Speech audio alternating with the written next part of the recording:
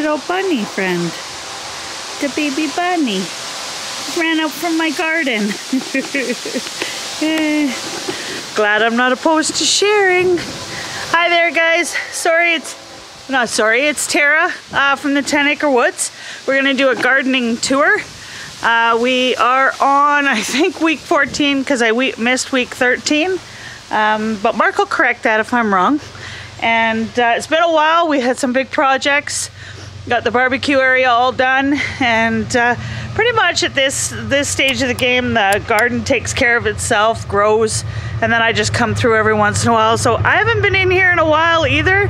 So I'm going to go through with you guys. Uh, we are going to go to the hollyhocks. We are uh, now taking the seed pods and we sell our seeds in the spring.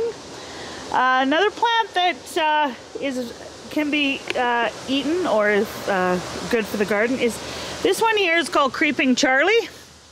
And it's uh, really grown up really nice in here. It's a nice ground cover. Little purple flowers.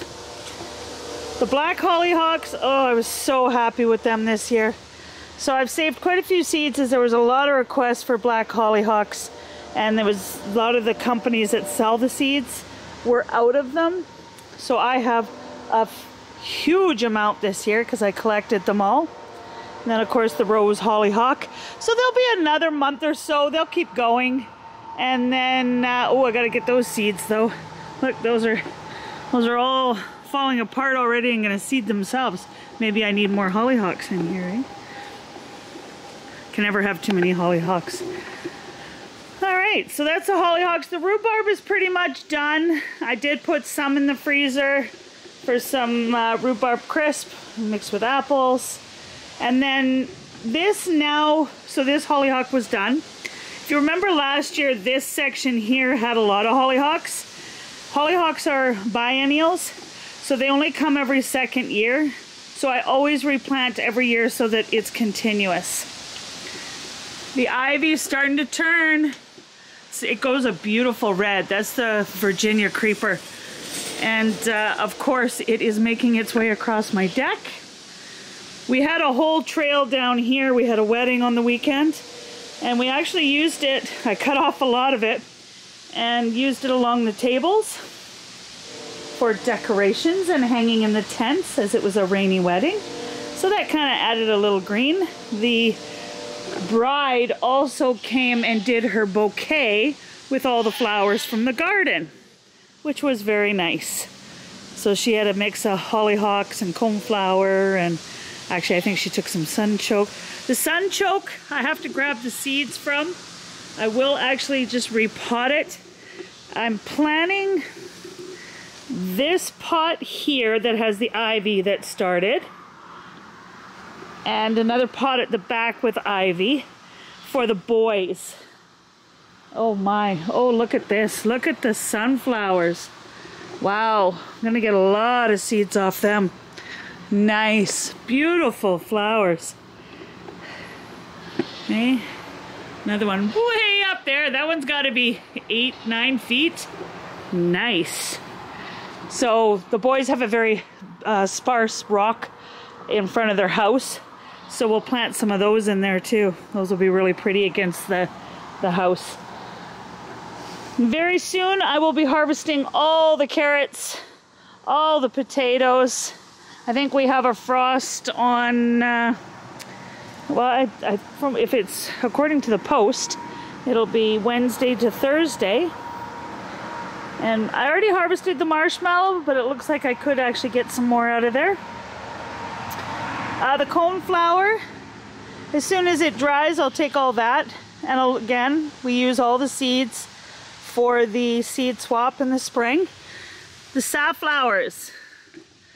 I love these flowers. They, I, I discovered them by mistake and it is the replacement for saffron, which is a very, I hear, expensive uh, in cooking world. So uh, the, the safflower can be used instead.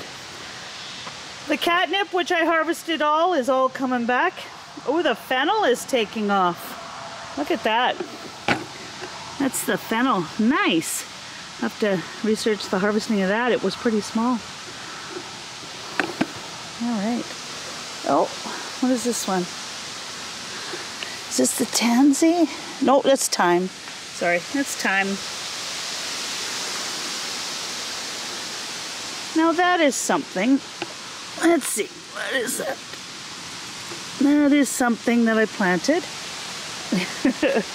I planted the gooseberries back here, but I don't see any anything coming out of that. Chives have gone to flower. It's always, though, look at the bees on there. Nice. More rhubarb. These ones are a little better in here. This one is anyways. Sweet melon or cantaloupe? Do we have any? I don't see any. Not this year, I guess. All right, yeah, look at that Virginia creeper, how red it goes. The asparagus. You know, I said I would harvest next year, but it actually looks like I could come out and pick a few prawns for Mark. Fry them up. And lots of new babies. I put all the seeds back into the ground.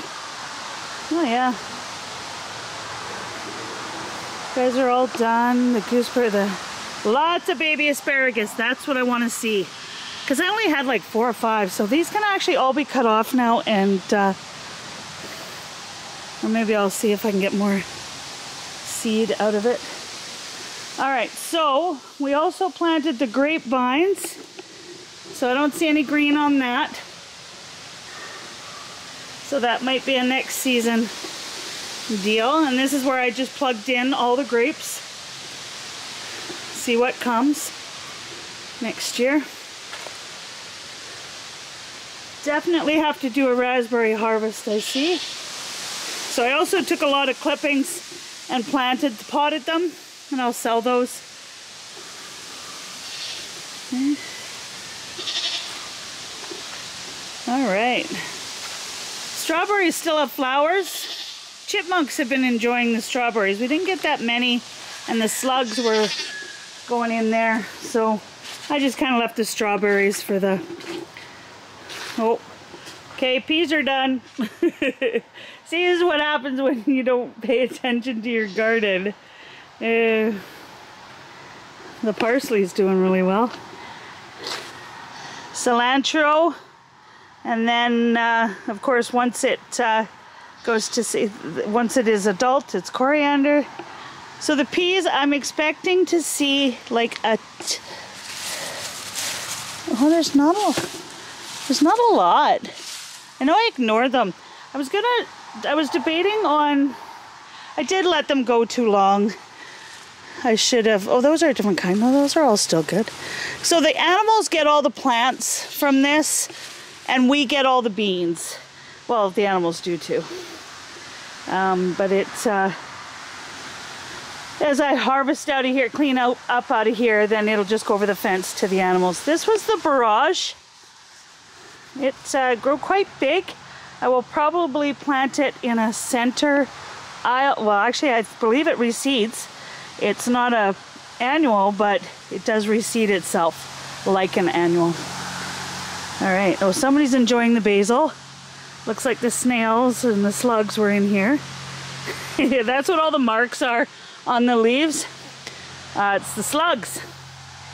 And I find the best way to get rid of them is to come out at night with a pair of tongs and a flashlight. And you can get them all that way. Oh, a couple of these guys have gone nasty, so we'll have to pull that out. We'll throw all that to the... Too wet. I'm gonna have to turn off my... Uh... For the rest of the season, I will turn off... Sorry, I keep moving the camera. Mark's gonna yell at me. we'll throw that over to the animals and then I'll harvest uh, the, all this white mildew on here is uh, because it's too wet. I should have, we've had three days of rain and I ignored it, but I'll harvest the uh, fruit off for the animals, clean it up. And, uh, oh, we got some, the squash likes it though. Quite a few. Whoa, let's push that guy through. He's stuck in the, we won't let him hang. He's stuck in the board. All right, the squash is up there. So they'll do it, but I'll turn off the water because at this point with the the dew in the morning, they really, I, I won't be watering now, but lots of nice fruit on there. Yeah. All right. So we are gonna go over to the watering station because this automatic water comes on every night. We really don't need it with the rain, but you see, see how it says off? I thought I turned it off. Obviously I didn't. Okay, so I just uh, took off the hoses. I'll turn off the hose. And that'll be the end of the watering season. And actually just detach the unit. This has actually been a little scary around here this year because I really didn't trim at all in here. So you see the raspberries. Uh, the boys are coming on Saturday. So I figure we'll leave harvest until Saturday. I don't see any, well there's a couple on the ground, but I walked through there, that's probably why. Um, and uh, attacking the tomatoes. but it's weird because, yeah, so I'll just, the tomato, there's not really, I, not only really red ones, but there's a lot. So, like there's a lot in there. So I'll cut off all the tops so that it stops producing and just focuses on uh, uh, on finishing up the fruit that is actually on the plant. All these raspberries. I'm afraid to walk through here. There's so many.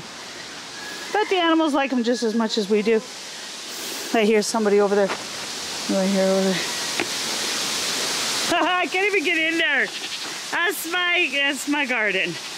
Tomatoes on the left, raspberries on the right. So in order to get in here, I am going to have to come in and start clipping or else I'm going to just break the plants. So it'll be harvesting raspberries and trimming up the tomatoes. That'll be this week's chores. I think that's pretty much, the rest will kind of just Sorry, it's so big. it literally is, uh, I'd say six feet from the building, but it's all like going down, up, down, up. It is nice though, because it actually, with the fabric on the ground, it doesn't, uh, it doesn't get, uh, what do I say, like too wet, which is nice. So we'll see what's in there when I get in there. That'll be interesting. And any of the fruit, like we've probably got another month that they can be out here. So I'll just trim it back, stop it, stop them from growing, and then they'll uh, the fruit will all ripen on the on the vines. What's happening in here? Not much. I really didn't use my greenhouse this next this year. I I would like to I always say start my uh, tomatoes in here just so they, they're done a little sooner. Oh, look at that. Always like this. So these are volunteers in here. But you see what that is? That's catnip. Can never have too much catnip. So we're growing catnip in the... Nice. Catnip, catnip, catnip. I probably dried some seeds in here or planted them in here. All my soil ready for spring. That's nice. I got all my containers in. Uh, we had uh, some drop-offs, so they'll have lots of containers to plant next year. I was actually thinking of putting, uh, I discovered, sorry, finish my thought there. Um, catnip is of the same, like it uh, repels mosquitoes and flies. So I wanted to plant, it also smells really good. So I wanted to plant some up at the uh, barbecue area. So the cuckoo melons, we had a good feast out here at the wedding. We kind of came around, we showed them a bunch and they ate a bunch. I harvested a bunch of the strawberry spinach, but it'll go, it'll go until freeze. It'll just keep growing. But it does look like this section of squash at least. I will probably remove most of the leaves so that, oh, it did continue over here. Oh well, it's the end of the season. Okay. What do we got hiding in here? Anything hiding in this bush? Yeah, too much water. See, see the, uh, sorry, you get that mushy fruit there? Too much water. So I did pull a bunch off of here. Oh, there's a nice size one right there. A white. Think that's the butter. No, that's not. Butternut is a little yellow. That's another type of squash. I knew there was one. Oh, that one's ready. Up there on the deck. I like it when they go up on the deck, then they stay nice and uh, dry. Another one on the ground. So you'll find them everywhere. I'll say there. Now, I wasn't quite sure this one. It actually looks like a cross between a watermelon and a squash. But then, it's always fun to see what you get. Oh, another big one there. That's a different one. Right there. Nice little yellow guy. Oh, big one's back there. Oh, a watermelon. I think that's the biggest watermelon I've ever grown.